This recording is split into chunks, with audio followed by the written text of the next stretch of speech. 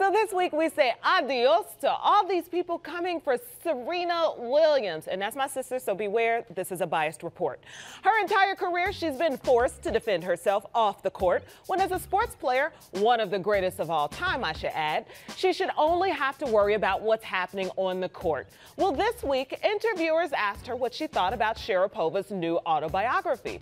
So Serena basically said that she didn't like some of the claims in the book. Now, one of them being Serena doesn't like her because when Sharapova beat her way back in 2004. Hasn't happened since.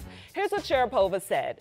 I think Serena hated me for being the skinny kid who beat her against all odds at Wimbledon. Not long after I heard, Serena told a friend who then told me I'll never lose to that little B word again. Bye, girl. You beat Serena one time in the last two decades. So it's not that she doesn't like you you're just a non-factor in her life. And your competitors, they're your competitors at work. What'd you think? You'd be best friends? Bye, Felicia, to people who think they're way more important to your life than they actually are. Bye-bye.